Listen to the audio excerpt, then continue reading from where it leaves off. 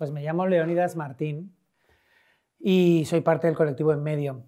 En el colectivo En Medio soy un poco chico para todo, de todo como todos y todas las que somos parte de este colectivo.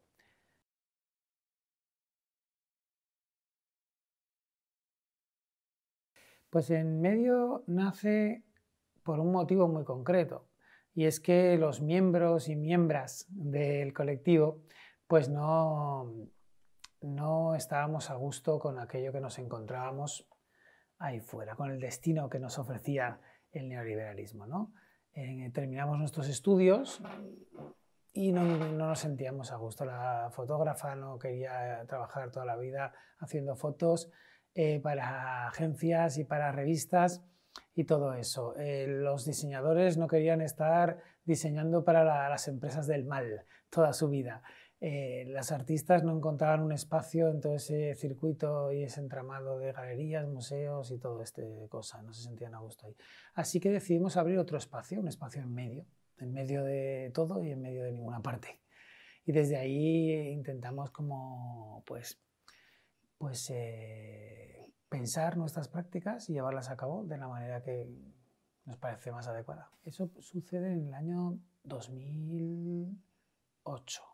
Algunos miembros del colectivo actuales veníamos de experiencias previas, de otra década de experiencias previas, con otros nombres como fueron las agencias o, o Yo Mango, o otras experiencias así, ¿no?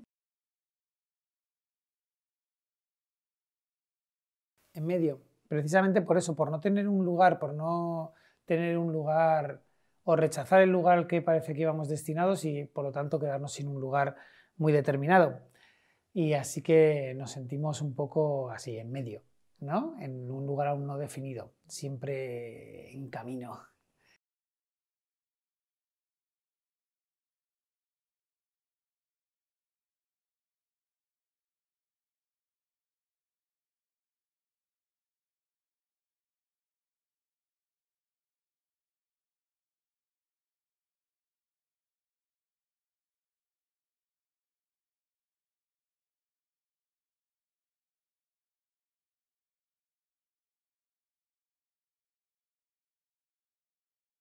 No, no, tiene nada que ver con el voluntariado. Em, tampoco es que lo hagamos forzados, no son trabajos forzados tampoco. Ese em, es la búsqueda de un espacio en el que aquello que sabes y te gusta hacer encuentre un sentido que te parezca correcto con lo que entiendes por existencia, por vivir, por estar aquí, ¿no? Entonces, no, ese... Em, y no tiene nada que ver con, digamos, con esa relación que se puede establecer en las ONGs o en espacios parecidos que sí que funcionan más con el voluntariado, con un, porque el voluntariado de alguna manera está siempre relacionado con, con un tiempo extra del de la producción. ¿En qué dedico ese tiempo que no es el tiempo productivo? ¿no? Y todavía tengo energía para poder dar algo a la sociedad que no pase por el... No es esto, lo nuestro. Porque lo nuestro, es decir, es el tiempo de vida que ponemos ahí, ¿no? Es otra cosa, es a lo que nos dedicamos de alguna manera, pero somos un colectivo.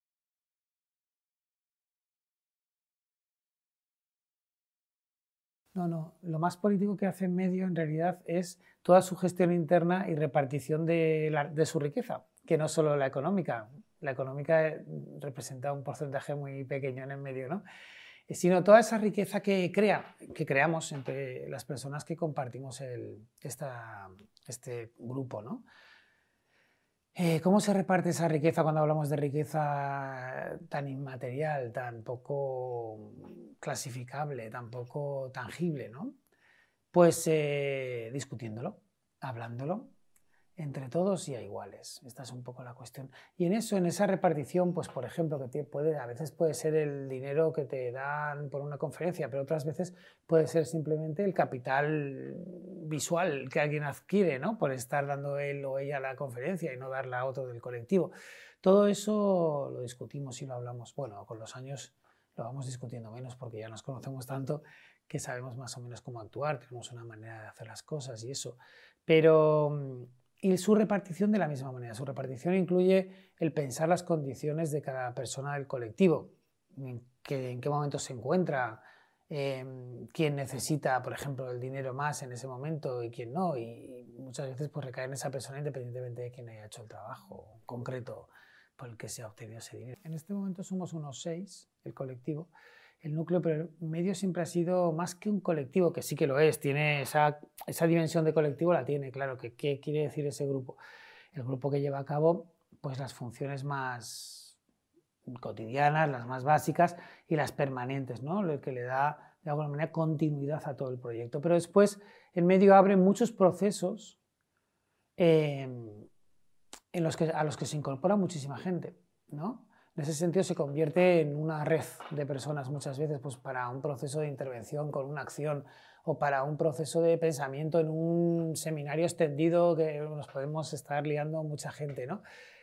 En fin, ahí ya el colectivo de seis se disuelve en, en grupos mayores, ¿no?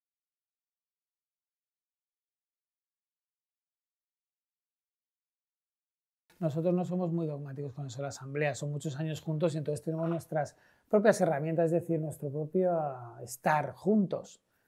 No, no, le aplicamos tanta, digamos, herramienta formal eh, a nuestras discusiones o encuentros porque es un encuentro permanente, es el estar juntos, el vivir juntos. Entonces ahí es un espacio en el que verdaderamente se, disuelven mucho las fronteras entre lo personal y lo público, se disuelven también las fronteras entre la amistad y el compañerismo en un grupo, eh, toda esa cuestión.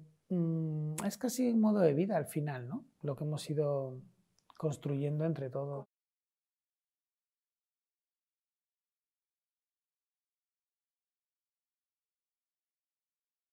Porque creo que pues porque para un proyecto que estábamos en al principio, cuando nos formamos, eh, pues un poco liados, nos venía bien esa estructura. La pensamos y esa fue la que elegimos sin, mayor em, complicación.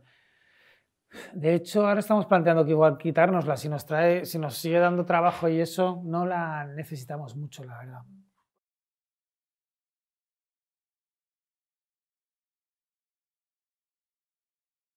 Una cooperativa era mucho más complejo en aquel momento eh, de, establecer, de hacer todo el papeleo y toda esa cuestión. Nos pareció muy farragosa la cuestión y no quisimos meternos en eso, también porque somos muy vagos para lo, burocrático.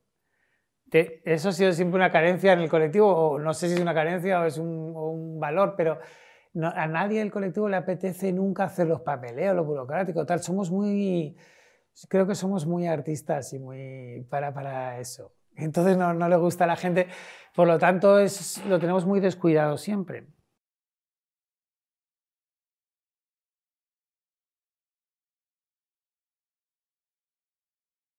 Pues mal, nos, nos financiamos mal. ¿Cómo nos financiamos? Pues eso es una cuestión compleja en el medio que, que está relacionada con varios aspectos. ¿no? Por un lado, eh, dando clases, conferencias, participando de seminarios, mm, esta cuestión más, si quieres llamarlo así, más académica o más cultural, ¿no? en festivales de arte, en offs, de exposiciones, en museos, en, en universidades y todo eso, también en muchos centros sociales, muchos centros culturales de otro tipo. Eso por un lado. Por otro, puntualmente realizamos, hemos alguna vez hecho alguna campaña de crowdfunding, por ejemplo, para algún proyecto en concreto, como nuestro festival Cómo acabar con el mal. Las dos ediciones que lo hemos montado pues ha sido con un proceso de crowdfunding. Eh, otras veces mm, hemos inventado algún tipo de evento que nos ha dado dinero, como una super fiesta o algo así, de vez en cuando. Y así es como vamos tirando, más o menos. no recibimos subvenciones, hemos recibido muy poquitas eh, un par o tres y normalmente porque algún otro colectivo nos ha puesto como partner y se lo ha trabajado ellos. La verdad que somos muy vagos para lo, administrativo y lo burocrático y esto no nos gusta mucho. Tenemos un rechazo kafkiano ahí. Eh, vemos el... Eh, nos leímos a Kafka de joven y nos quedamos con eso de que el proceso es el castigo. Y entonces nosotros entramos poco en los procesos estos. Decimos, bueno, Así que bueno, somos pobres, como te podrás imaginar, si somos así. Pero todos en el medio mantenemos nuestro, nuestro trabajo. Eso es algo que no hemos dejado con los años. La fotógrafa sigue siendo fotógrafa, la videoartista sigue haciendo sus cosas de vídeo y tiene sus proyectos. Los diseñadores siguen siendo diseñadores ¿no? y trabajando de eso. Yo que soy profesor y pues eso es a lo que me dedico, ¿no? doy clase. No lo hemos dejado, precisamente porque eso siempre ha sido una cuestión. Nunca hemos tenido la aspiración a dejarlo ni el deseo. Porque sabíamos que eso es, va unido un poco a, a una serie de concesiones que con el medio no queríamos hacer.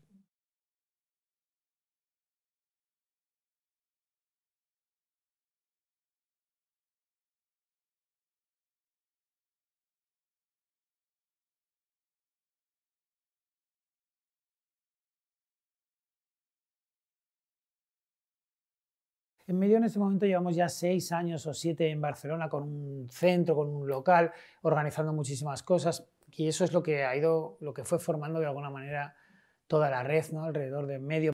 Por lo tanto, cuando vimos explotar el 15M fue para nosotros de alguna manera la experiencia mayor de algo que ya veníamos rastreando y experienciando desde hace un tiempo.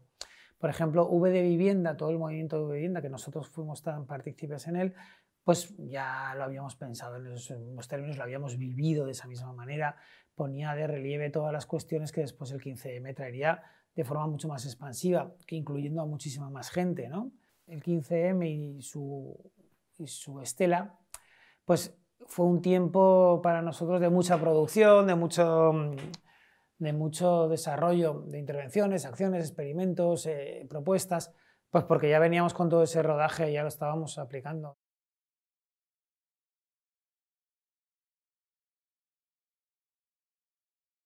Eh, nosotros no apostamos tanto por la imagen en sí misma. Nosotros nos preguntamos muchísimo por el qué sucede antes de una imagen y el qué sucede después con esa imagen. ¿no? De hecho, muchas veces llegamos casi a la conclusión de que no hay tal cosa como la imagen. O sea, que la imagen, bueno, esta es una diatriba que siempre acompaña un poco al pensamiento estético, ¿no? Es decir, que, mm, ¿qué hay ahí en lo que vemos? ¿Qué es eso que vemos? ¿no? Esa pregunta básica de la estética es verdad que es irresoluble, está siempre ahí cuestionándotelo y tal. A nosotros lo que nos motivó siempre es cómo hacemos juntos una imagen. Esa es una pregunta que nos hemos realizado. Y si en el hecho de construir juntos una imagen ya se está produciendo una experiencia que sobrepasa la imagen en términos de representación y, y se abre a algo que a nosotros nos interesa mucho, que es la exploración esa de lo, de lo comunitario, del estar juntos, de, el empezar a compartir una mirada sobre el mundo y sobre las cosas. Y luego esa imagen va a estar y existe. Y es lo que otro va a recibir sin la experiencia de la formación de esa imagen, sin la experiencia social que ha constituido esa imagen. Por tanto, hay ahí como un problema que nosotros intentamos tratar, que es precisamente el de, por un lado, vivir la experiencia de construir una imagen juntos y, percibir que en, esa, en ese vivir, lo que nosotros llamamos vivir la imagen, ¿no? que en ese vivir la experiencia de construir una imagen juntos, se abre una experiencia comunitaria, política, social, ya de por sí. Después aparece el problema de la representación. Es decir, esa imagen constituye una representación de esa experiencia que por, que por supuesto nunca es la misma, porque es una representación y no es la experiencia en sí, pero ¿qué es lo que va a recibir aquel que va a mirar esta imagen? Y ahí nosotros nos intentamos plantear mucho ese asunto de cómo introducir en la imagen parte de esa experiencia que hemos vivido. ¿no? Porque hay gente que es verdad que es más, me gusta vivir la experiencia y la imagen esa luego ya me da igual, porque yo viví aquella experiencia y es lo que... ¿no? Incluso hay toda una corriente ¿no? histórica en el pensamiento de las artes que, hoy del pensamiento político, que mantiene esa cuestión, ¿no? Hay que vivir la experiencia y ya está, y, ¿no? y anular todo tipo de representación. Nosotros trabajamos con representaciones también, tenemos esa cuestión, claro, ¿no? Somos artistas y eso. Por lo tanto, está la cuestión de vivir la imagen y está la cuestión de la imagen en sí, que la imagen que queda y qué significa ese, eso para el otro. Y si esa imagen de algún modo es capaz de transmitir parte de lo que, le de lo que la ha traído a la vida, ¿no? Si contiene parte de esa experiencia y cómo lo hace, o si la pervierte completamente, o si la convierte en algo completamente distinto. Entonces, en esas diatribas, en esos conflictos, estamos siempre un poco metidos. ¿no?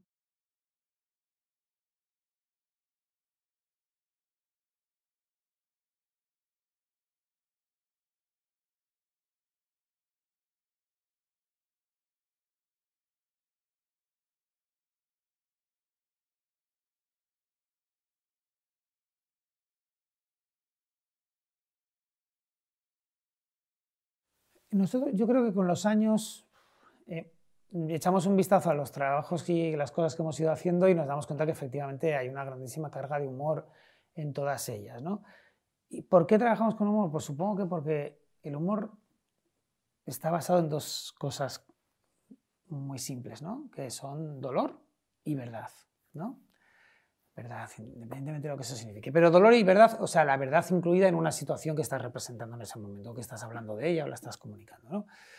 Em, y esos dos asuntos son los que trabajamos. Cuando uno se, se, pone a desarrollar un trabajo por estos, digamos, espacios de la producción cultural, que son los que tienen que ver con, lo más, con los espacios más sociales, con los espacios más, si los quieres llamar así, políticos, pues eh, uno lo que se va a encontrar en primera instancia es dolor, y también después lo siguiente que va a explorar es una verdad respecto a las situaciones con las que se encuentra, ¿no?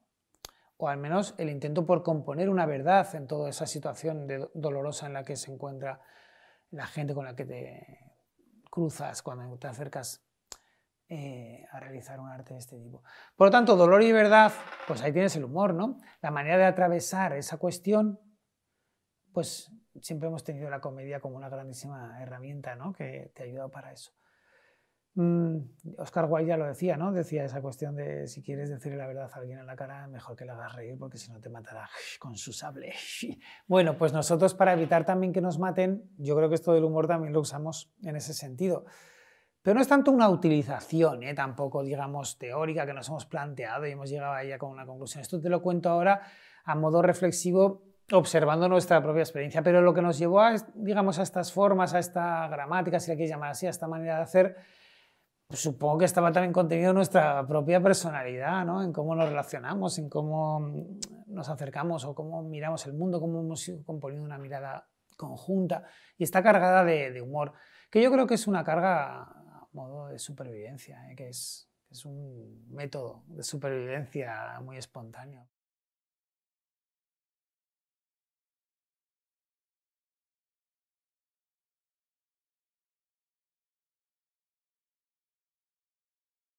La pregunta por los efectos reales también es curiosa, nos lo hacen siempre en todas las conferencias, es como, ya, ya, pero habéis hecho mucho, pero ¿qué habéis conseguido?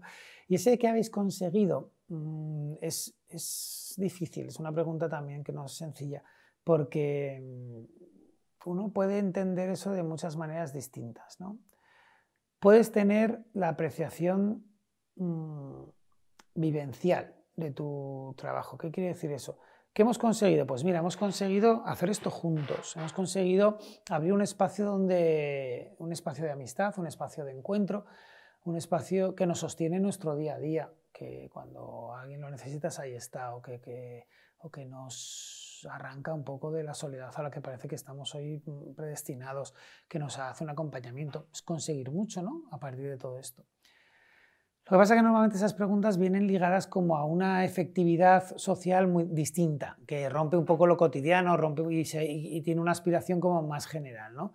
¿Qué habéis conseguido realmente? ¿Acabó con las hipotecas o no? Bueno, en ese sentido, eh, si uno observa, por ejemplo, todo el trabajo que hicimos eh, inmiscuidos en el movimiento de vivienda, todo eso de la campaña que diseñamos de no vas a tener casa en la puta vida, o el récord mundial de gente gritando no voy a tener casa en la puta vida, y todo eso, pues eh, sí que uno observa hoy la situación, por ejemplo, en ciudades como Barcelona, Madrid, del alquiler, de la, y estamos más o menos igual. En ese sentido, el resultado sería un bajón y dirías no hemos conseguido nada y todo eso. Pero nosotros no es así como lo leemos mucho. Por ejemplo, en sentidos así concretos decimos, mira, antes de hacer toda esa serie de intervenciones, y experimentos así artístico-políticos que hicimos en ese movimiento, eh, la cuestión de la vivienda, o sea, el problema de la vivienda era un problema que se vivía de manera individualizada, era tu problema, como se suelen vivir todos los problemas en el neoliberalismo. ¿no? Las victorias son del sistema,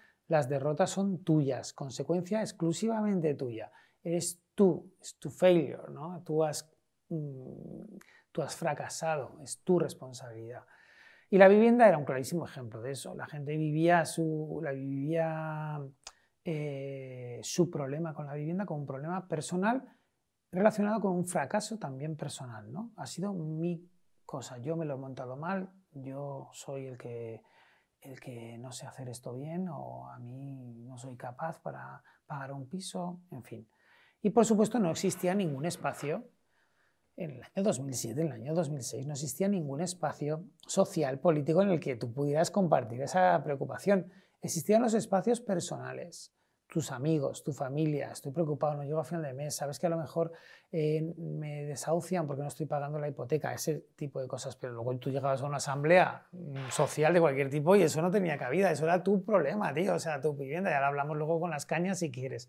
Yo creo que todo este tipo de intervención, abrir el imaginario que conseguimos abrir con todo este tipo de experimentación social y artística, eh, yo creo que modificó radicalmente esa relación con, ese conflicto. ¿no? A partir de entonces, el conflicto de la vivienda fue un conflicto social y no hubo ninguna duda de ello. Y aquello que tú entendías como un fracaso personal, de haber vivido por encima de tus eh, posibilidades, por ejemplo, comenzó muchísima gente a entender que había habido inducción, ¿no? Por parte de un programa político extendido en gran parte del mundo, que te había llevado a una serie de tomas de decisiones que tú habías entendido como libres, pero que de libres tenían bien poco. Y eso es un cambio subjetivo muy importante. Cuando digo subjetivo, no le resto ninguna practicidad ni materialidad a eso. Es decir, eso ahí tienes un cambio efectivo cuando nos preguntan por esta cuestión. ¿no? ¿Que los alquileres sigan igual de caros? Sí, pero es que eh, no se puede medir el mundo solo desde esa materialidad. Porque para que las cosas cambien, nosotros al menos estamos muy convencidos de eso, requieren hoy por hoy más que nunca cambios subjetivos en primera instancia. Eso es, bueno, hoy siempre, ¿no?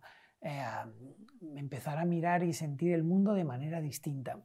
Y yo creo que, por ejemplo, ese tipo de experiencias que te he nombrado consiguieron bastante en mucha gente y por un tiempo, que no se sabe cuánto, eh, empujar en esa dirección.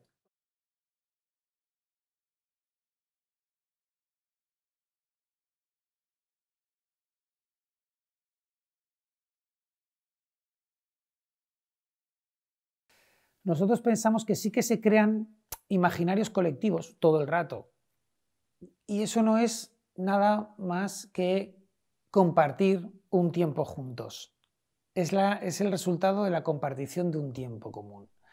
Pasa tiempo con alguien y empezarás un poco a compartir la mirada del mundo. Mm, y ambos os empezaréis a entender cómo se mira el mundo. Y empezaréis a entender, digamos, a tener una imagen compartida del mundo. Porque el mundo, ¿alguien ha visto el mundo alguna vez? Nadie ha visto el mundo, ¿no? El mundo eh, solo lo hemos compartido de manera en nuestras conversaciones, ¿no? Hemos hablado del mundo o nos hemos mostrado imágenes del mundo, pero de todo el mundo. Hemos visto, ¿Alguien ha visto el mundo? ¿Alguien sabe cómo es el mundo? El mundo no es más que aquello que nos contamos que es. ¿no? Por lo tanto, cómo contarse ese mundo, cómo habitar, es lo que nosotros llamamos, cómo habitar esa idea que nos estamos transmitiendo de mundo, es la pregunta que nosotros nos realizamos, nos hacemos constantemente. Es decir, mm, hoy, por ejemplo, mm, hay una grandísima fuerza que compone mundo, que son los medios de comunicación, ¿no? Eh, exponen constantemente, es un ciclo constante de exposición de un mundo, de una manera de ver el mundo. Bueno, eso tiene una grandísima influencia de compartición. La gente lo vemos y potencialmente compartimos esa mirada. O si tienes, si resistes y tienes un aspecto crítico, puedes ¿no? ponerla en cuestión. Pero en un principio es un método de compartición del mundo, ¿no? de crear un mundo en común. Nosotros pensamos que esa compartición de lo que es el mundo eh, da unos mejores resultados cuando no está mediatizada, cuando eh, el cuerpo de alguna manera está presente. Por lo tanto, nuestra creación de imágenes va acompañada de, o intentamos que vaya acompañada de una presencia. Es decir, que aquello que vamos a representar responde a lo que presencialmente hemos vivido o responde a aquello que nos afecta directamente, a los que en este momento estamos componiendo esta imagen o haciendo esta intervención o realizando este vídeo o lo que sea, ¿no?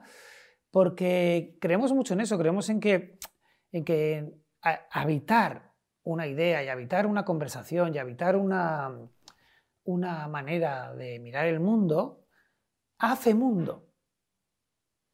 Y no habitarla también hace un mundo, pero hace un mundo un poco jodido, que es el que eh, nos está rodeando todo el rato, ¿no? En el que nos, nos va dejando cada vez en una relación más mental con el mundo. Si antes, si durante muchos siglos tuvimos una relación espiritual con el mundo, eso cuando teníamos alma y aquello, ¿no? Durante muchos siglos tuvimos alma, que la cambiamos por la razón, ¿no?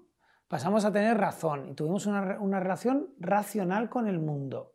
Creíamos que entendiendo sus, sus aspectos más físicos eh, y combinándolos, daba como resultado el mundo que queríamos tener, ¿no?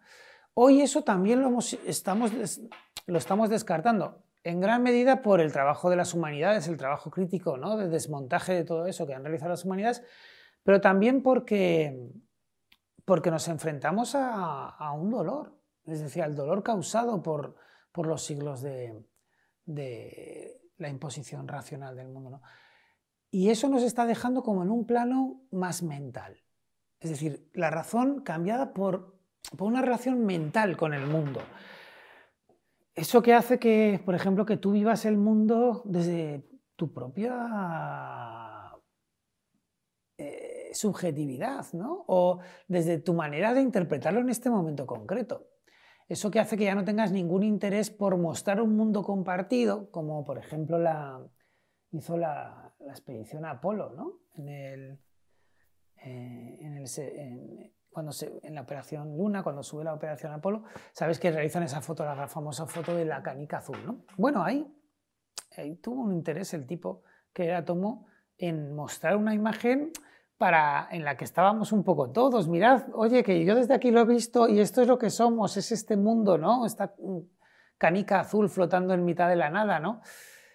Eh, hace unos años ya sabes que en una operación parecida el, el astronauta que se tomó la foto ahí fue un selfie, ¿no? Que se hizo traca.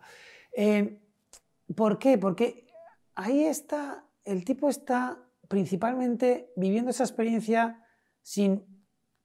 O sea, la idea del interlocutor que tiene, a quien le va a mostrar esa fotografía, es alguien que le va a mostrar su experiencia, es decir, la experiencia que él ha tenido de estar ahí colgado con el mundo detrás, que, entre otras cosas, tú no la has tenido. La foto llega un poco así, ¿verdad? El selfie este famoso que se hace el astronauta ese, el aquí se llamaba. Em, nos llega un poco de esa manera. mira qué pedazo de experiencia estoy teniendo ahora, ¿no? Que estoy aquí flotando con el mundo detrás. Quien la recibe, eh, recibe esta relación mental que te estaba comentando de esa persona. Él está teniendo en ese momento una relación mental con el mundo, ¿no? Y nos la muestra y nos la, y nos la envía. La recepción de ella también provoca una relación mental con esa experiencia, que te puede llevar a, joder, me gustaría a mí mucho estar en esa situación, o yo nunca estaría ahí, o, que, o lo que sea.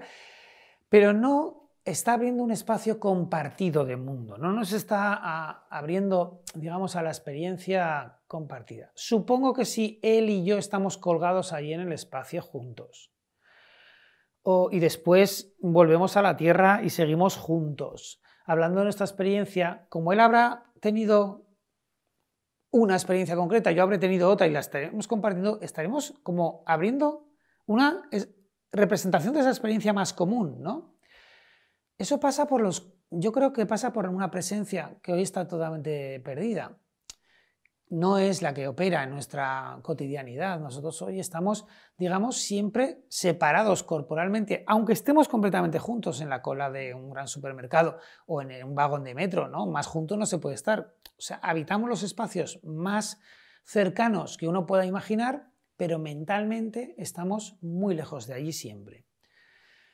Así que esa relación mental a nosotros nos interesa mucho, es decir, esa es la que nosotros intentamos un poco desarticular y, porque precisamente en esa erosión que podamos provocar de esa compartición ¿verdad? de la existencia, es donde se puede abrir una, un imaginario que tú me preguntabas común, distinto. Lo otro también abre un imaginario común, que es el imaginario de aquí cada uno tiene su propia experiencia, además es incompatible con la del otro, Y eso forma un mundo, o sea, forma la imagen de un mundo. Este es el mundo. Bueno, nosotros no es una imagen que nos interesa mucho. Por lo tanto, decimos, mm, para no llegar a ese mismo resultado de imagen, ¿cómo podemos proceder? Y ahí nos inventamos cosas, probamos, decimos, oye, pues igual estando juntos presencialmente, vamos a probarlo. O igual como no dejando la cuestión en el momento en que ya se tiene la imagen, sino habitar esa imagen antes y después de ella. Estas cosas, ¿no? Experimentos que intentamos llevar a cabo.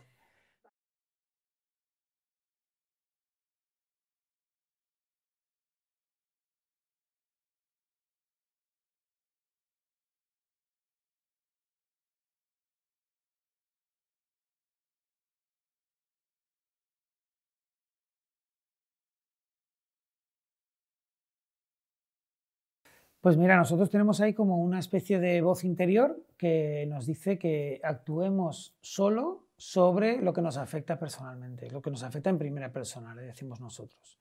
Y nunca intentar, como acercarnos a experiencias que no, nos, que no nos atraviesan, que no nos afectan. Nosotros no somos de una campaña contra el hambre en la India. No es este nuestro acercamiento a lo que hacemos. Somos más de un día estar en nuestro estudio y decir, joder, no puedo pagar alquiler y pues yo también tengo muchos problemas con esto y hoy es la tercera vez que me estoy mudando en cuatro meses. Y decir, ¿hacemos algo con esta situación? Vamos a intentarlo.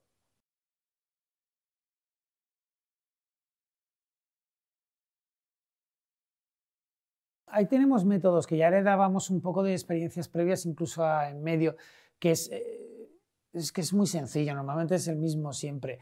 Eh, tomamos una decisión de intervención, decimos vamos a intentar hacer algo con este asunto concreto y a partir de ahí lo que hacemos es abrir un espacio colectivo. Y llamamos desde nuestras redes sociales, desde nuestra página, desde nuestros encuentros semanales en nuestro espacio, em, abrimos la propuesta. Y ahí se, se vincula gente que se siente interpelada por ese conflicto y por la necesidad de hacer algo. Por eso las gentes que llegan a medio son tan diversas porque los conflictos que hoy solemos sufrir afectan a gentes muy distintas, ¿no? Por eso siempre es muy sospechoso cuando ves en un proyecto cultural que siempre están un poco el mismo sujeto, ¿no? Que dices, pero no sé, sería un poco raro que la vivienda afectase únicamente ¿no? a un sector. La vivienda afecta a una diversidad social compleja. Entonces nosotros intentamos eso mantenerlo muy vivo. Y eso es un trabajo que hay que estar muy pendiente porque la tendencia, digamos, las corrientes culturales y todo eso mm, te llevan a... te clasifican, te encajan, ¿verdad?, en unos sectores muy delimitados, con una capacidad de afectación mm, intrínseca a ese sector, ¿no? Por eso a nosotros nos gusta mucho llevar nuestro trabajo o pensar herramientas para que puedan ser articuladas o trabajadas en lugares muy distintos también al de la cultura, al que, al que por defecto vamos a estar un poco predestinados, ¿no? Como, como occidentales blancos con carreras universitarias interesados en cultura y todo eso. Por ejemplo, te pongo un ejemplo, en toda la investigación del mundo Vaya que hemos estado realizando, pues ahí teníamos varias opciones, ¿no? Teníamos, por ejemplo, la opción de volcar toda nuestra investigación en, un ensayo y publicarlo pues, de manera así como más habitual, en un libro o en una revista que circulase por los circuitos más culturales y esto. Nosotros no hicimos eso, nosotros realizamos un esfuerzo por diseñar un periódico que en sí mismo, cuando lo desmontas, eh, cada periódico son seis, ¿no? Seis periódicos que cada uno cuando lo desmontas y lo vuelves a montar forman cada uno de ellos una gigantografía, una fotografía muy grande que los seis juntos componen una exposición. ¿Para qué nos sirven esos periódicos? Pues nos sirven para ir a hablar del mundo vaya, de este concepto, pues eh, a muchísimos sitios distintos y tener una herramienta en nuestras manos que nos permite comunicarnos de manera no tan habitual en cualquier en casi cualquier entorno, porque lo hemos probado en muchísimos. Hemos ido a institutos con chavales de 14 años, eh, a institutos en barracones aquí, ¿no?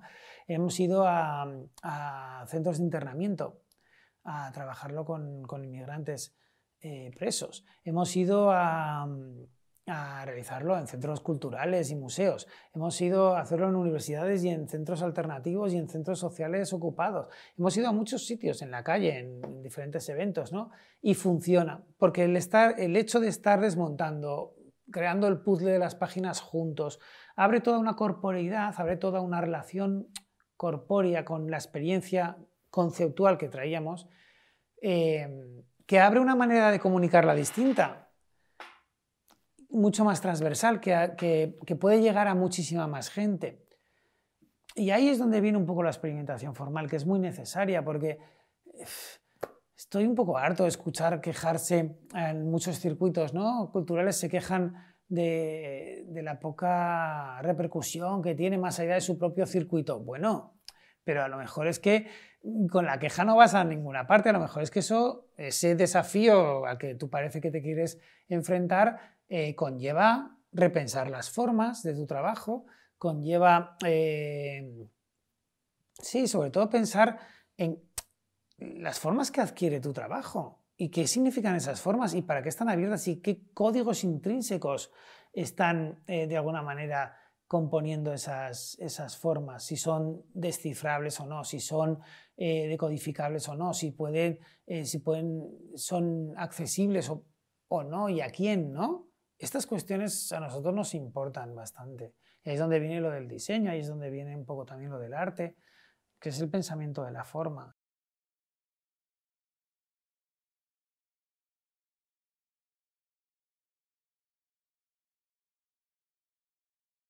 Eh, la cuestión legal la incluimos siempre en nuestros procesos, de manera un poco o sea, sin darle mucha importancia para que no se coma el proceso, porque sabes que lo legal te pueden seguir a comer y quedarte solo en la preocupación y en el.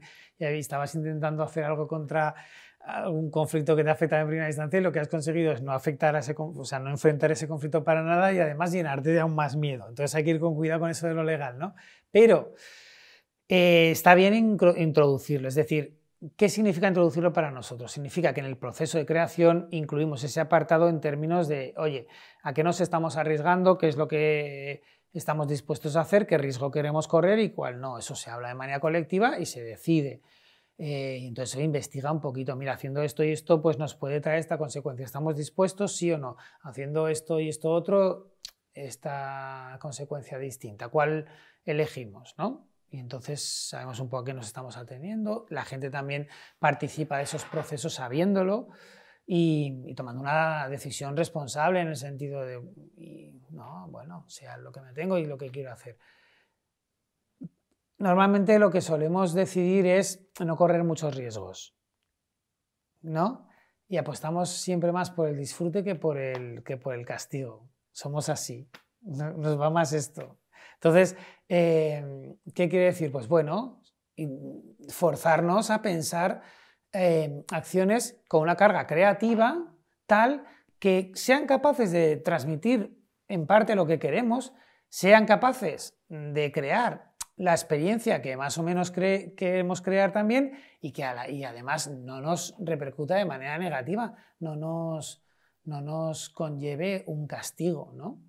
Y también cuando, cuando le quitas el peso, cuando le quitas, digamos, algo de peso a la cuestión esa tan seria, ¿verdad?, en el activismo y en, y en todo el pensamiento de transformación social, que ha sido la de la materialidad del mundo. Mucha acción política, digamos, más ilegal, por decirlo de alguna manera, cree mucho en lo de la materialidad del mundo, en el que, en el, que el mundo es el mundo material que tú ves sin embargo, nosotros a eso le damos una importancia relativa, ¿no? Estamos como muchas veces atendiendo más al mundo que no tocas, ¿no? O saber que cuando lo tocas, lo que estás percibiendo, incluso con el sentido del tacto, es algo que ya tenías tú aquí. Entonces, como circulamos más por ahí, por eso lo de la imagen, por eso lo de los conceptos, por eso lo de la escritura y esto, pues eh, muchas veces no nos metemos en asuntos muy ilegales, porque la, la, ilegalidad está muy relacionada con la materialidad, es decir, esto lo puedes coger o no, esto lo puedes tocar o no, ahí puedes entrar o no puedes entrar. Sin embargo, cuando uno circula más por los derroteros, digamos, mentales, ¿no? Por, por, la, por la transformación inmaterial del mundo, digamos, a través de la imagen, a través de la palabra y todo eso, de lo que es intangible, pues eh, es, te adentras en los territorios ilegales menos. Aunque también miraba al chaval este por cantar una canción, ¿no? Cualquier cosa, efectivamente, ¿no? Que eso te puede pasar. Pero mm, esto que acabo de decir también, que conste que no le quita importancia a que creamos que el poder tiene una grandísima materialidad hoy en el mundo y que está inscrito en, principalmente en las infraestructuras, ¿no? las macroinfraestructuras que hoy manejan y que son necesarias para que el capitalismo fluya. ¿no? Y si te das cuenta, nuestras acciones también normalmente las solemos ocupar, solemos estar ahí presencialmente, ¿no? en la materia del mundo. ¿no? No, por eso te pregunto, porque mm. colgar un cartel en el Congreso o entrar en una sucursal del INEM. Efectivamente, claro. Es, entrar en la privada. Sí, sí, sí. Eso conlleva unas consecuencias. Claro, sí, sí, no nos podemos deshacer, o sea, no podemos prescindir de esa cuestión. Nuestro trabajo va muy relacionado a las dos, pero no únicamente la pensamos en esos términos. No somos como esos eh, que piensan que ah, quemando un banco acabas con el banco. Has quemado un banco, pero no has acabado con el banco, porque el banco, ya lo ves, ¿no? Ahora, con, por ejemplo, si miras las últimas oficinas de bancos, cada vez son más desmaterializadas, ¿no? Cada vez hay menos ahí. Hace poco entré yo en una y no había ya nadie, ni cajero, ni nada. Era como una experiencia conceptual, prácticamente, ¿no? Con el banco. Bueno, pues esa es un poco la tendencia, ¿verdad? A interiorizar la experiencia del capitalismo. Por lo tanto, ahí te vas quedando sin materia. Te vas adentrando en un terreno muy, muy incorpóreo, ¿no? muy poco tangible. Con ese trabajamos nosotros bastante.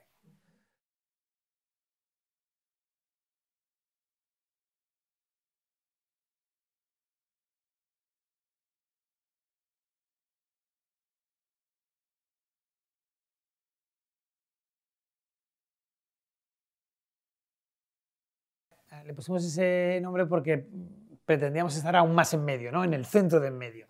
El centro de en medio es una apuesta por, relacionarnos principalmente con eso, con el aprender y el compartir los saberes de una manera radicalmente distinta a la que encontramos ahí fuera. Algunos de nosotros somos profesores, por lo tanto conocemos bien esa relación, la vivimos a diario y no nos gusta. En la relación en la que ha entrado todo lo que significa el aprendizaje, lo que significa la educación, en términos así más grandes. ¿no? Bueno, que es una simbiosis, ¿verdad? Por resumirlo así muy brevemente, es una simbiosis eh, encajada a escala 1-1, ¿verdad? Con, el neoliberalismo, es decir, con la, con la necesidad de hacer de toda experiencia humana hoy un beneficio económico, o al menos la búsqueda de él.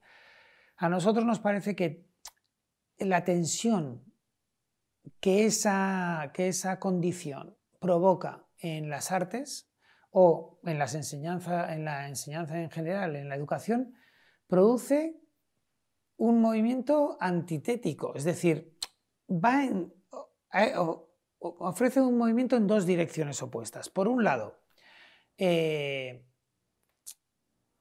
es la educación en sí, es lo que vamos a conocer como educación, pero por otro, eh, va contra ella completamente. Por ejemplo, por un lado, una, línea tira para ser más eficiente esa educación, para ser más productiva, por lo tanto, parece ser que como para educarnos antes y mejor, ¿no? Eh, requiere de una serie de, pautas productivas, que es en la que ha entrado toda la, toda la educación hoy, ¿verdad? Toda la educación universitaria, educación de grado, toda, eh, que lo que hace es, como resultado, todo lo contrario. Es decir, anular la experiencia del aprender en sí misma, porque la experiencia del aprender en sí misma requiere de un tiempo contemplativo, requiere de un tiempo de absorción, ¿verdad?, del mundo. Eso pasa por la contemplación y, después de un tiempo de meditación de eso, de eso que has contemplado, ¿verdad? Y después vendría el tiempo de la transmisión que todo ese proceso previo ha provocado en ti. Bien, la instalación en ese en procedimiento, la instalación de, los procedimientos productivos anula lo que ha sido la educación hasta ahora. Ahí vienen muchas preguntas. Es decir, qué va a ser la educación a partir de ahora, qué, va qué se va a obtener de ese proceso.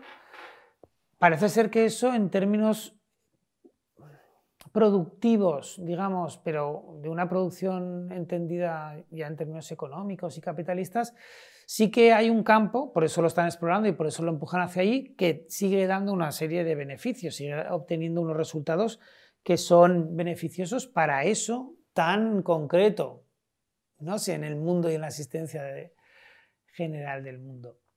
Sin embargo, para lo que ha sido el aprendizaje del mundo, para lo que ha sido la transmisión de él y por lo tanto la propia composición del mundo y todo eso parece que nos va a faltar. Por lo tanto, el centro de medio lo que pretende es salirse de esta cuestión, abrir un espacio y un tiempo distintos, ¿no?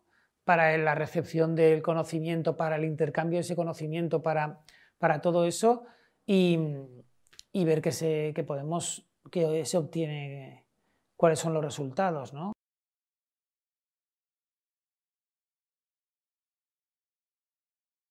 las mismas que asisten a la universidad o a cualquier otro sitio, porque no hay otras personas. Esto era muy En el 15M, por ejemplo, uno se preguntaba, ¿pero dónde ha estado toda esta gente? Pues ¿sabes dónde ha estado toda esta gente? Contigo detrás del FNAC, en la cola detrás del FNAC comprando, o contigo cuando estabas en el supermercado, o en el metro cuando vas al lado de... Ese era la es la misma gente, no hay otra gente, no es que hayamos traído una gente nueva ahora para ocupar las plazas, o, no es que haya una gente nueva que pueda venir a nuestro centro. Eh, somos los mismos cuerpos habitando lugares distintos, o o al menos eso es lo que pretendemos, abrir un lugar distinto, ¿no? del conocimiento, por ejemplo. A ver, el acercamiento más, soy sincero, el acercamiento más común al medio, pues es el que representa es, donde está instalado, digamos, de forma natural, que somos ya, como te decía antes, ¿no? Blancos occidentales, universitarios relacionados con la cultura, pues eso va a traer una serie de, de personas y no otras. Pero nosotros hacemos, tenemos, por ejemplo, lo que llamamos en medio se mueve, que, es, eh, es una práctica del centro que pretende precisamente romper los propios límites de la zona en la que parece ser que nos fuerzan a estar instalados, ¿no? que es la que tiene que ver con la cultura, con la universidad. Entonces, pretende romper eso, ¿cómo? Moviéndonos, como dice su propio nombre, vamos a otros lugares. Y eh, entonces ofrecemos adaptamos nuestros seminarios, nuestros talleres, nuestras cosas a otros lenguajes, a otras prácticas, pensamos en herramientas de diseño o artísticas que nos ayuden a hablar de otra manera, intentamos irnos a otros lugares donde habitan otras hablas, otras maneras de relacionarse, pero que están afectados exactamente igual que nosotros cuando pensamos esta cuestión o cuando realizamos esta serie de intervenciones. Por lo tanto, eh, con el medio se nos hemos ido a institutos, de marginales, nos hemos ido de nuevo a centros de entrenamiento, nos hemos ido a campamentos de inmigrantes, nos hemos ido a campos de refugiados, nos hemos ido a, asociaciones de barrio, nos hemos ido a casales populares, no sé. Eh, eso es una práctica que sí que intentamos mantener como viva todo lo que podemos en el sentido de romper nuestro propio lugar asignado del mundo, porque ahí es un rollo, ahí solo encuentras replicantes te encuentras a ti mismo, ¿no? Todo el rato. Dices, este soy yo, claro, lo que está diciendo esta persona es lo mismo que pienso. Sacas poco de ahí, ¿no? Porque, y de alguna manera, y eso también es un asunto que nos interesa en el medio mucho, eh, el desarrollo tecnológico, mm, a diferencia de cómo lo pensábamos algunos en los años 90, que lo asociábamos a un campo de libertad, porque era un terreno en el que, eh, yo qué sé, eras un chaval que homosexual en un pequeño pueblo de Oklahoma o de donde sea y tu capacidad por relacionarte con gente cercana a lo que tú entiendes como sexualidad y todo eso la tenías muy limitada. La, llegada de Internet, de verdad que eso, de alguna manera, rompía esos límites, ¿no? Te permitía contactar con otra gente que no estaba en tu pueblo, pero que tenía un sentir parecido al tuyo, y eso te, otorgaba una experiencia de libertad. Bueno, em, ahí había un potencial, digamos, que algunos desarrollamos, perseguimos en esa época y tal. Hoy todo eso parece que se ha dado la vuelta completamente, ¿no? Las nuevas tecnologías, no sé si se pueden seguir llamando nuevas, ¿no? Pero las tecnologías de comunicación digital eh, imponen una lógica completamente contraria. Uno, las redes sociales, toda esa cuestión, su propio rastreo, el rastreo de la interacción de cada uno de nosotros va componiendo una imagen hecha en semejanza a uno mismo te encuentras solo con los que piensan como tú, compartes eh, información solo con aquellos que son cercanos a tu sentir, ¿verdad? Esos que tienen tu propia sensibilidad son los que aceptas, los otros los vas retirando muchas veces de forma física. Tú eres parte del canal, digamos, censor que va eliminando a los otros de forma activa, lo borro de amigo, y otras veces simplemente técnica. Es decir, tú no eres consciente de ello, pero como nunca has interactuado con estos que son de derechas o de lo que sea y tal, esos van desapareciendo. Y las redes sociales van dándote cada vez más, o toda la interacción, digamos, digital que mantenemos a diario, van dándote cada vez más un reflejo de ti mismo. Por lo tanto, de nuevo, la relación mental que mantenemos con el mundo, tú empiezas a entender que el mundo es eso. Claro, luego te llevas las hostias que te llevas, ¿no? El mundo te da hostias todo el rato porque dices, pero ¿cómo pueden votar a Trump? ¿Dónde estaban todos estos? Pues claro, no estaban en tu muro de Facebook, ahí no, no estaban ahí, eso seguro. Ni estaban en tus fiestas que haces en casa, porque no, tampoco. En las que circula una serie de información que, bueno, coincide uno a uno, pero ¿de verdad no habías pensado que eso que coincide plenamente contigo no es el mundo? Porque no lo es, eso es lo que tú has hecho del mundo. Entonces, en el medio intentamos, de alguna manera, siempre que podemos, salir de ahí, o sea, no estar encajados ahí, intentar buscar vías para, para no ser un replicante de mí mismo, ¿no?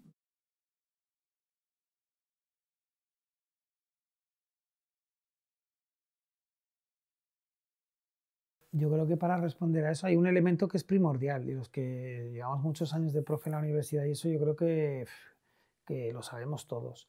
Y es que conforme más se ha ido convirtiendo la, la, universidad en una empresa, ¿no? pues eh, mucha más diferencia se ha establecido entre lo formal y lo no formal, entre lo que entra y lo que no entra, ¿verdad? la accesibilidad al saber se ha ido pues haciendo muchísimo más rígida porque la va definiendo una cuestión económica. Eso modifica muchas cuestiones. Por ejemplo, los alumnos dejan de ser alumnos y pasan a ser clientes. la relación que mantienen con un profesor es una relación clientelar. He pagado, esto es lo que quiero. No lo estoy recibiendo, me quejo, porque he pagado. Toda esa cuestión. Eh, a la vez habitamos un mundo roto, ¿no? En el que tenemos imágenes del pasado como cacharros rotos en un desván, ¿no? Olvidado. Pero somos a las que recurrimos todo el rato, pero no nos dan respuesta a lo que nos sucede. ¿Qué quiero decir con eso? Pues, por ejemplo, la dicotomía entre escuela privada y escuela pública. Dices, bueno, es un poco más complicado que eso. ¿Cuántas veces veo yo a diario en mi trabajo en la universidad prácticas privatizadoras y prácticas privadas? Todas los comportamientos se están dando de manera privada, aunque en la puerta ponga escuela pública, ¿no? Es decir, ¿cuáles son los comportamientos que se dan ahí dentro? Comportamientos completamente privados. Es decir, se ha interiorizado el espíritu que habita dentro de ese lugar es el espíritu de la privatización, el espíritu de lo privado. Pero se aferran al nombre, somos escuela pública, pues demuéstralo. Somos escuela pública, pero aquí no puede acudir nadie que no esté matriculado. Bueno, ve borrándolo de pública.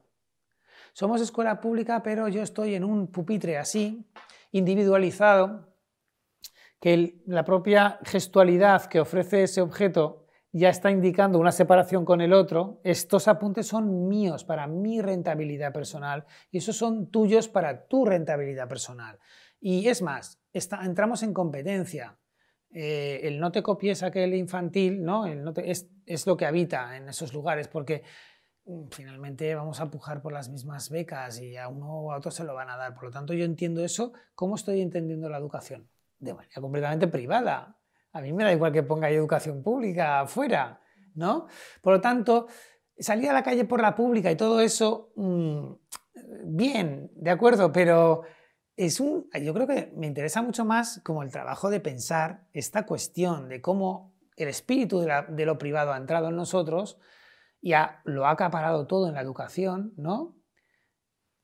Aunque sigas mentalmente pensando que estás en la pública, no sé, bueno, eso ya será tu relación mental con el mundo que hablábamos antes, pero en realidad lo que está sucediendo es esta cuestión, que habitamos un lugar de privatización, por no hablarte ya de todas las carreras académicas del profesorado, ¿no? Es decir, todas mis publicaciones mías con mis créditos y toda la gramática, digamos, eh, extraída de, o incorporada desde la economía, ¿no? Créditos, todo aquello.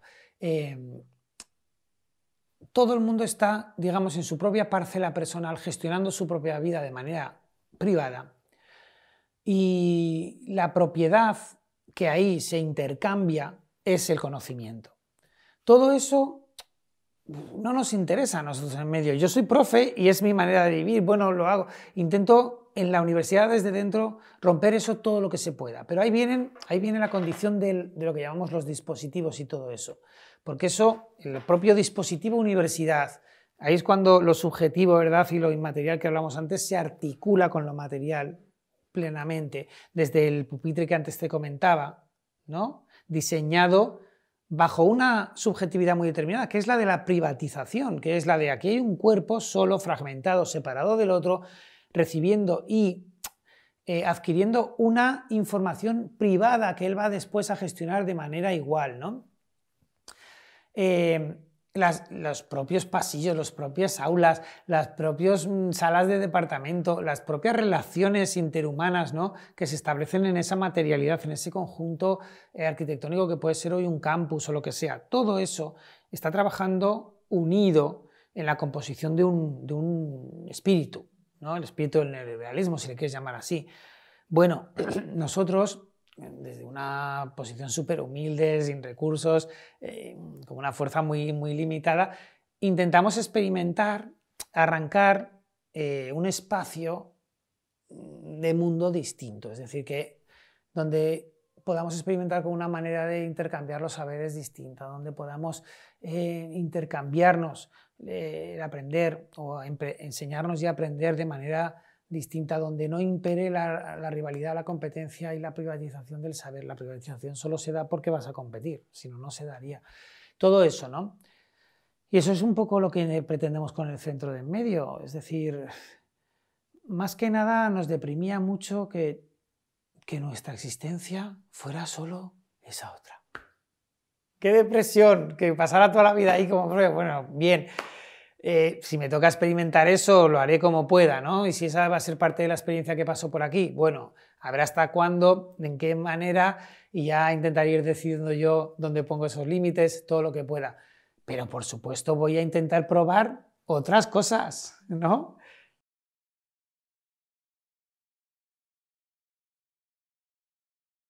Pues mal, pues mira, a mí me han degradado, por ejemplo, que lo llaman así, que también el término, digamos, es gracioso. ¿no?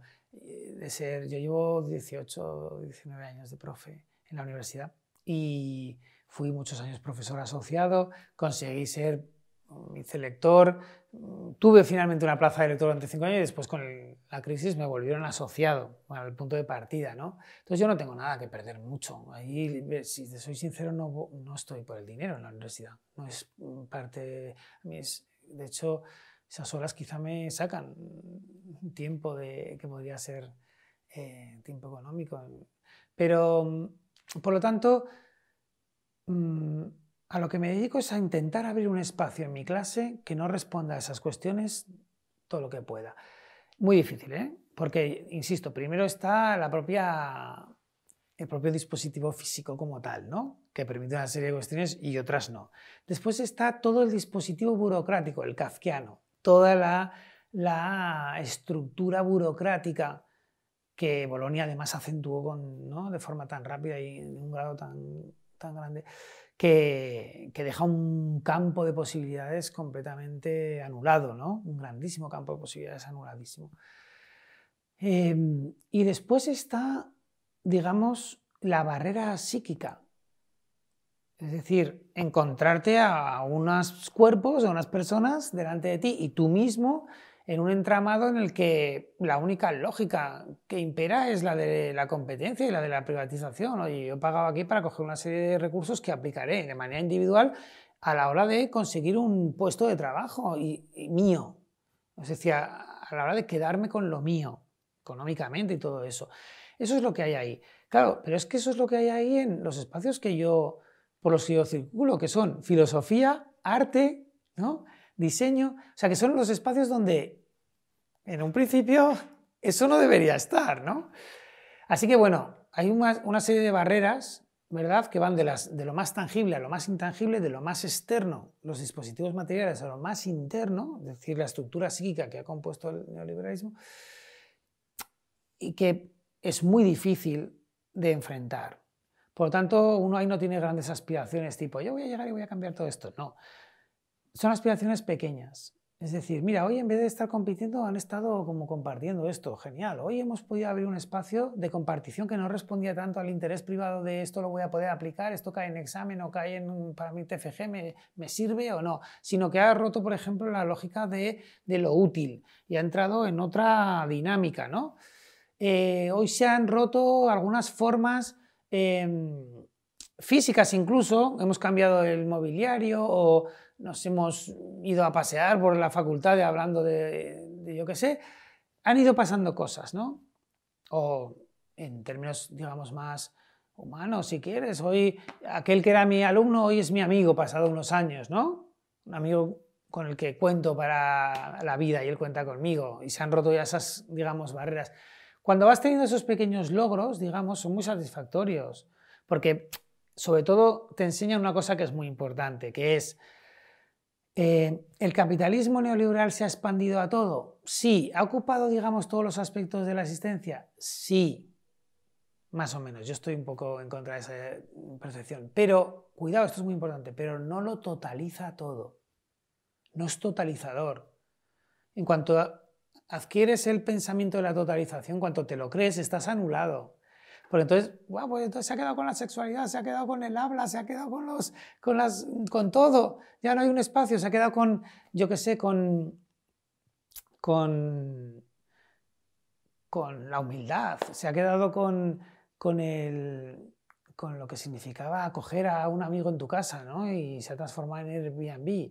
Yo qué sé, claro, tú lo puedes ver así, pero pero no puedes olvidarte de la capacidad activa que tú tienes en eso. Es decir, que en todo momento, en cualquier circunstancia, puedes eh, replicar una circunstancia de injusticia y de maltrato o puedes replicar una, una escena de justicia y de solidaridad con el otro. En cualquier lugar puedes entender el saber como algo privado o puedes abrir un espacio de compartición que no responda a eso el rato que estás con otra persona. Y eso de nuevo vuelve a pasar por juntarnos, que no solo, ¿eh? que ahí están, yo te digo, en mi clase están los cuerpos juntos todo el día, pero juntos, juntos, que se rozan con el hombro, pero están a años luz. Y entonces uno de los planteamientos que yo me hago o de los objetivos que intento llevar a cabo, digo, voy a intentar este año acortar esa distancia entre esos cuerpos. No física, porque ya no se puede acortar más, ¿no? Estaría ya uno encima del otro. Pero no, no, la distancia mental que mantenemos ahí dentro, ¿no?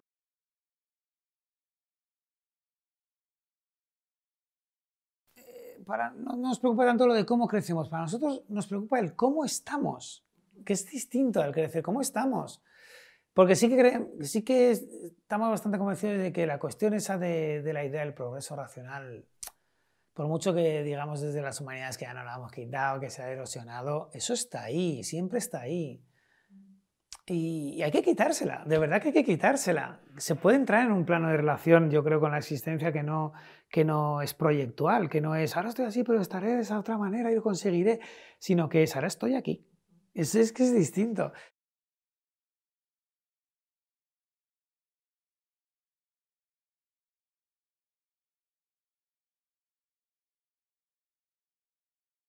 Activismo es un, taller en concreto que, coordina uno de los miembros del medio que se llama David, David Proto. Y, es, un, es, un, lugar para, para experimentar precisamente con, eh, en un terreno en el que se juntan la programación de aplicaciones, aprender programación básica para apps, principalmente para dispositivos móviles y todo eso, y sus posibles usos eh, fuera de lo común, fuera del te localizo, sé dónde estás, mm, qué quieres comprar y todo esto. Y se puede aplicar a otra serie de cuestiones, sobre todo esas que nos interesan a nosotros, de afrontar conflictos sociales y toda esta cuestión. Es activismo ficción, que ese es un taller que coordino yo precisamente y que, mm, que lo que se dedica es a explorar, de nuevo, un terreno híbrido, ¿verdad? En el que exploramos las herramientas de la ficción, las herramientas básicas de la ficción, construcción de personajes, storytelling, eh, voces, mm, diferentes narrativas, em, con la intención de aplicarlas de nuevo a eso de componer experiencias que puedan enfrentar malestares, que puedan enfrentar eh, conflictos y todo eso. Bellas Vallas. Ese es un taller dedicado a explorar, eh, a entender, a comprender el nuevo, la nueva aplicación de urbanismo, de diseño urbano en las ciudades, sobre todo en las ciudades marca, lo que llamamos ciudades marca. Es decir, esas ciudades que viven de producir y distribuir y vender su propia imagen. ¿no? Lo que compone esa imagen en las ciudades marca somos nosotros, ¿no? la gente que las habita principalmente.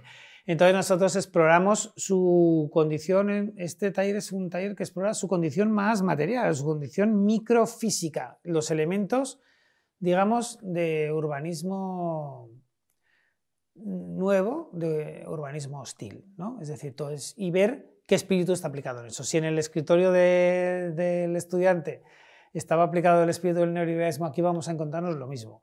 Un montón de dispositivos, cada vez más distribuidos en todo el mundo, que, lo que hacen es restringir, delimitar, distribuir, dirigir la movilidad de los cuerpos en las ciudades. Eh, ¿Cómo lo hacen? Pues eh, con la estética. Eso es lo que nos interesa a nosotros. Son, son vallas, por le llamamos bellas vallas, pero que incorporan el, el, factor estético. ¿Por qué? Porque estarían mal vistas y sería contraproducente para la creación de ciudad marca. Entonces necesitan camuflarse. ¿Cómo? De mil maneras. Son muy divertidas las bellas vallas en ese sentido. Se eh, convierten en plantas con pinchos, se convierten en bancos que se dividen para que la gente no pueda sentar.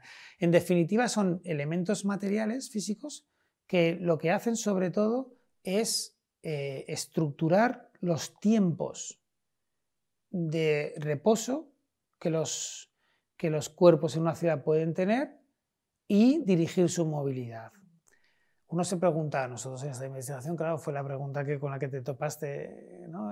tarde o temprano, que es, ¿pero a dónde vamos? O sea, dirigir la movilidad, ¿a dónde? Pues bueno, es una movilidad entendida únicamente en términos productivos y de consumo. Es decir, el cuerpo tiene que ser un agente activo en la producción y consumo de esas ciudades.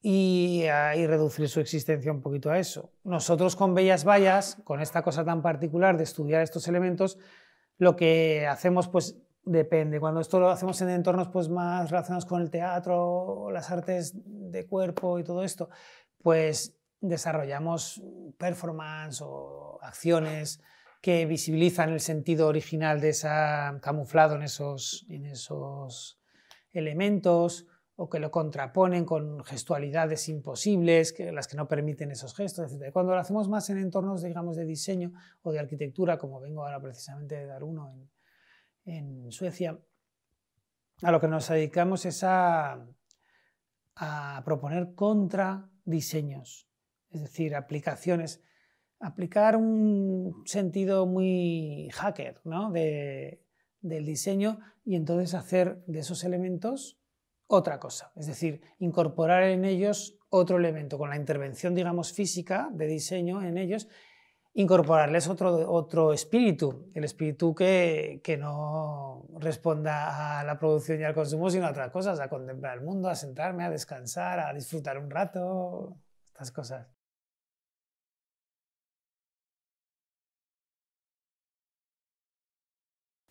yo creo que el problema de la ilusión es más un problema que está en el otro lado. Yo creo que se lo tienen que preguntar más ellos. Oye, ahora, después de dos siglos ilusionando, después de un siglo, sobre todo el último, empujando la ilusión, ¿no?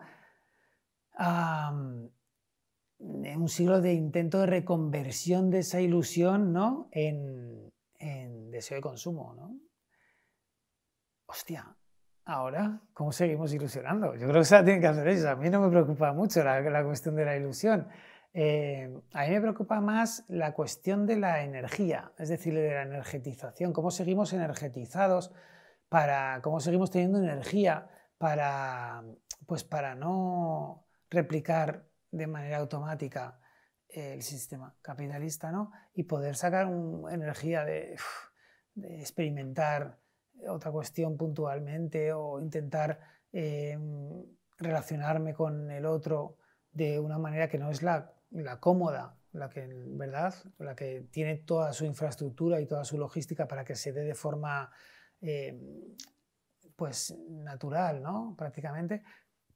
Y eso requiere de una energía. Una energía... ¿Cómo, cargas tú esa energía? Claro, hay, hay una cuestión, porque es verdad que hay una energía que procede de la juventud, ¿no? Por eso los, anhelos de cambio se dan tanto en esos años y toda esta cuestión. Y ahí esa energía es caduca, por supuesto. Eh, y ahí tiene un problema de nuevo el capitalismo, el neoliberalismo, porque, porque claro, ahí él descubre, sobre todo a partir de los años 40, 50, que en el campo de la juventud es de donde se establece toda esa energía que eh, me va a enriquecer, porque esa energía sí se transforma en consumo, ¿verdad? Es un consumo exacerbado y lo que hace desde entonces es explotarla, unos años de maravilla y después intentar extenderla a todo, que es esto pues, de las operaciones, los liftings, el rechazo a que el tiempo pasa y que me estoy haciendo mayor y estoy perdiendo precisamente esa energía y tal. Gran parte, la idea moderna de la revolución caía en lo mismo, es decir, unos cuerpos jóvenes que llegaban aquí para cambiar el mundo con toda su energía y, y acababan con el mundo viejo, ¿verdad? Ya debilitado y se quedaban con el nuevo. Pues eso, fueron los, eso, eso fue la burguesía y su revolución y eso fueron las revoluciones modernas después, desde las marxistas hasta las nazis, ¿no? Eh, tenían eso en común. Gran parte del activismo tiene esa cuestión, ¿no? Por eso está esa crítica facilona de, ah, cuando se dejes de ser joven, esto se te habrá pasado y entenderá lo que es el mundo de verdad y ya sé tal. Entonces, eh, la cuestión de la energía es una pregunta grande porque dices, ¿qué, otra, cómo, ¿qué otro concepto de energía podemos tener que no es ese de, la relación con lo juvenil y con todo esto? Eh, y yo creo que la hay, hay muchísima, por ejemplo, uno siente muchísimo, energetiza muchísimo cuando, cuando mantiene, por ejemplo, una relación inesperada con, con algo, ¿no? Hay una desenergetización en el mundo capitalista contemporáneo que precisamente eh, viene dada por, por lo ya sabido, ¿no? Por eso tira tanto de lo nuevo.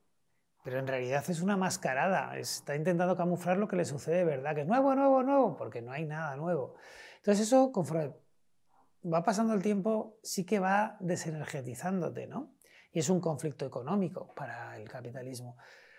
Em, digamos, la aparición de una experiencia inesperada por eso nos interesa a nosotros tanto la ficción, porque ese es el núcleo, digamos, de la ficción, eh, energetiza. Entonces, ¿cómo producir eso? ¿Cómo hacer las cosas de otra manera? ¿Cómo no, no hacer lo que estoy haciendo siempre? ¿Cómo, si verdaderamente mi trabajo como profesor significa eso en esa estructura que hemos eh, explicado hace un momento, ¿qué pasa si hago esto contrario, si hago esta otra cosa inesperada? Ahí aparece una energía siempre renovada que es independiente un poco de la edad. Que siempre la vives con mucha eh, vitalidad, ¿no? Y entonces eso yo creo que, que el arte es una muy buena herramienta, si la quieres llamar así, para intentar provocar esa cuestión. Por eso un libro te hace cambiar, por eso una película te trastoca y sales, entras con un ánimo y sales con otro.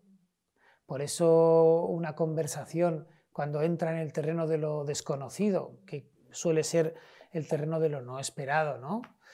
Normalmente habla sirve bastante poco, la habitual, la que solemos tener. Pero cuando eso rompe según qué mm, parámetros y aparece un parámetro desconocido en un encuentro, ¿no? O cuando un encuentro se da sin, sin esa réplica de lo conocido, aparece una energía que es independiente de la edad y eso mola. No sé si me lo estoy diciendo porque me hago mayor, o, pero verdaderamente creo eso ahora, que ya no, que hay otro tipo de, de energía. Y esa, y yo creo que eso siempre, de alguna manera, eso hasta, pensar esa cuestión ha estado siempre muy relacionada con el arte. Con, claro, es un encuentro con el otro. Claro, y con el mundo de otra manera, ¿no? Es decir, el arte no es más que esa cuestión de, de atender al mundo, pero atender al mundo hasta que consigues verlo. Y, cuando, y ver el mundo es verlo distinto a lo que lo ves habitualmente cuando no lo estás atendiendo. Y siempre que eso pasa, una, eso, cuando te sucede esa experiencia, que es la experiencia de la creación, que es la experiencia de, la contemplación, de la atención, del, del aprender, ¿no? del aprender del mundo, eso energetiza. Te apetece vivir, te apetece vivir tanto que te apetece que otros vivan también eso, te apetece comunicarlo, ¿no? Que es la transmisión, es el deseo de transmitir una creación, viene de ahí. Entonces, bueno, mm, explorar esa, esa cuestión. Eso sí es infinito. Eso no se agota con la edad. Eso da esperanza.